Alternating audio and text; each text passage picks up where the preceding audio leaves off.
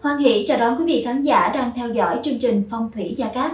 Lời nói đầu tiên thì thay mặt cho những người thực hiện chương trình này, Diễm Quỳnh xin kính chúc tất cả quý vị luôn gặp vạn sự lành, tấn tài, tấn lộc, tấn bình an. Quý vị thân mến, trong tháng 12 thì những người tuổi Bính Thìn à, sinh năm 1976 cuộc sống luôn được ấm êm, chẳng phải lo về tiền bạc, với tuổi Bính Thìn sinh năm 1976, đặc biệt là khoảng thời gian này sẽ có quý nhân phù trợ, thần tài ban lộc, trời cho, giàu sang phú quý, nhà cao cửa rộng và sống trọn vẹn đến cuối đời. Trong phần luận giải về tử vi tháng 12 của tuổi Bính Thìn sinh năm 1976 sẽ chỉ rõ cho quý vị và các bạn về bốn phương diện trong cuộc sống, đó là tiền bạc, công danh sự nghiệp, tình duyên gia đạo và sức khỏe.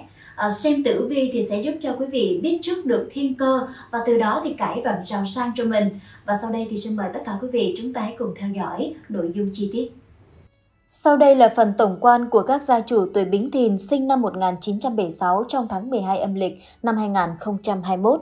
Thưa quý vị, người tuổi Bính Thìn sinh năm 1976, mệnh sa trung thổ, có tinh thần cầu tiến, lại chăm chỉ nhẫn nại, luôn tích cực làm việc, không quản khó khăn đầu óc, tư duy, linh hoạt.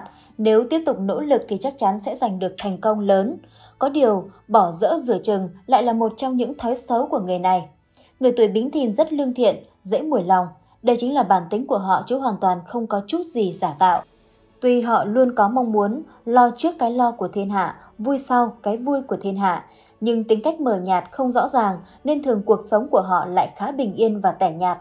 Thực ra người này chỉ cần cố gắng chăm chỉ thì với tố chất của mình, họ hoàn toàn có thể trở thành một lãnh đạo xuất sắc, có quyền lực trong tay, đủ sức tạo phúc đức cho nhân dân. Xem tử vi tháng 12 âm lịch năm 2021 cho các gia chủ Bính Thìn sinh năm 1976, tháng này sẽ có những may mắn trên các phương diện, công việc ổn định, tài chính dồi dào, gia đình hòa thuận, vui vẻ. Những người tuổi Bính Thìn còn độc thân có thể dễ có vận may về tình duyên trong tháng này. Việc cần làm đó là phải biết nắm bắt cơ hội. Bên cạnh đó thì anh chị cũng cần phải chú ý xây dựng thói sinh hoạt lành mạnh, tích cực vận động, thể dục thể thao để có một cơ thể khỏe mạnh.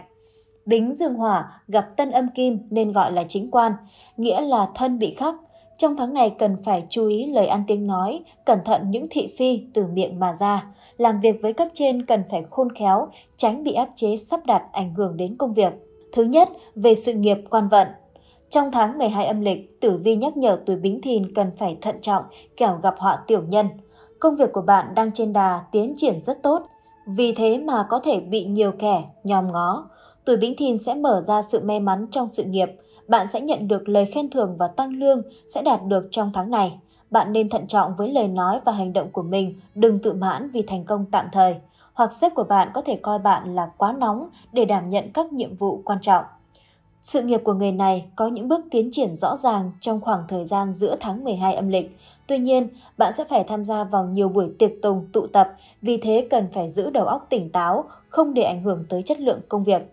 Bản mệnh cần phải thận trọng trong từng bước đi của mình, tránh việc bốc đồng sốc nổi hay chủ quan thiếu chỉn chu trong công việc. Nếu không dễ bị tiểu nhân lợi dụng sơ hở mà lấy mất vị trí của mình. Để tiếp tục cải thiện vận may trong sự nghiệp vào năm 2021, thầy Gia Cát khuyên các gia chủ hãy luôn mang theo bên mình vòng tay tam hợp quý nhân, thân, tí, thìn, giúp hóa giải xung sát, chiêu mời quý nhân, quý thần tương trợ, dùng để hóa giải thị phi, tiểu nhân hãm hại. Khi những điều xấu không còn, điều tốt đẹp sẽ đến với bạn mà từ đó tài lộc kéo đến ầm ầm, may mắn không gì bằng. Đặc biệt vòng tam hợp quý nhân cũng được thầy Gia Cát trực tiếp khai quang trì chú và xem ngày giờ sử dụng cho các gia chủ để vật phẩm mang lại công năng phong thủy tốt nhất. Thứ hai, về mặt tài lộc và tiền bạc. Xem tử vi tháng 12 âm lịch, gia chủ Bính Thìn không cần quá lo lắng nhiều về đường tài lộc. Tuổi Bính Thìn có thể may mắn kiếm được tiền, hiệu năng tuyệt vời, sẽ dẫn đến sự gia tăng đáng kể về tiền lương và tiền thưởng. Ngoài ra, bạn giỏi đầu tư và các dự án tài chính có rủi ro thấp và lợi nhuận thấp có vẻ không kinh tế nhưng sẽ mang lại cho bạn thu nhập cao khi được tích lũy đã đến và ở một mức độ nhất định. Khi bạn có xu hướng chi tiêu tiền nhiều, tất cả các loại chi tiêu sẽ tăng lên trong năm nay. Bạn cần phải phát triển một kế hoạch tốt để đảm bảo là cả quá trình đó đều hài hòa và có thể đáp ứng được. Thời điểm này cơ hội tài lộc khá nhiều, bản mệnh nên chú ý để nắm bắt thời cơ và chớ nên để cho thời cơ trôi đi quá nhanh mà bản thân còn đang mù mờ về bước đường phía trước. Thứ ba, về mặt sức khỏe. Gia chủ Bính Thìn sẽ có sức khỏe tốt trong tháng 12 âm lịch này. Sự nghiệp trôi chảy, cảm xúc ổn định và tập thể dục thường xuyên sẽ góp phần vào sức khỏe tốt cho bạn. Nhưng bạn cần phải tránh xa rượu và thuốc lá. Năm nay, sự giao thiệp xã hội tăng có thể yêu cầu bạn uống và hút thuốc nhiều hơn. Cho dù sức khỏe của bạn tốt đến đâu, hút thuốc và uống nhiều quá cũng có thể phá vỡ cơ thể của bạn.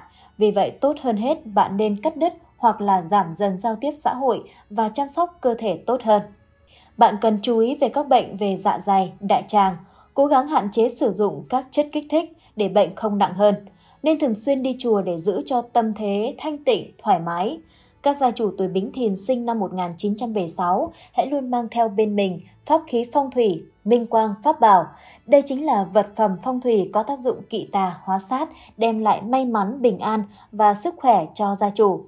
Để vật phẩm phát huy được tác dụng tốt nhất thì thầy Gia Cát sẽ khai quang trì chú và xem ngày giờ sử dụng vật phẩm theo tuổi của các gia chủ tuổi Bính Thìn.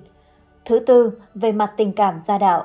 Tình yêu và mối quan hệ tình cảm sẽ tiếp thêm sinh lực cho gia chủ Bính Thìn nhờ thành công trong sự nghiệp và tiếng nói vui vẻ. Bạn có thể thu hút nhiều người khác giới mà bạn cần phải giữ khoảng cách nhất định và xác định rằng gia đình chính là nền tảng của sự phát triển nghề nghiệp. Một số người khác giới có thể giúp bạn, nhưng những người khác chỉ có thể làm phiền tâm trạng của bạn và mang lại tổn thất cho sự nghiệp hoặc tài sản của chính bạn. Các cặp đôi cũng sẽ có sự chuyển biến khá lớn trong mối quan hệ. Có thể giữa hai người có một biến cố lớn gì đó mà khiến cho bạn và người ấy muốn nhanh chóng tiến tới hôn nhân, chuẩn bị về chung một nhà. Còn người độc thân có thể sẽ tìm thấy được một nửa của mình một cách khá tình cờ. Bản thân bạn chưa mấy quan tâm đến chuyện tình yêu lứa đôi, nhưng khi nhân duyên ập đến thì đó cũng là sức hút mà bạn chẳng thể nào chối từ. Tổng quan tháng 12 âm lịch năm 2021, tháng Tân Sửu, năm Tân Sửu.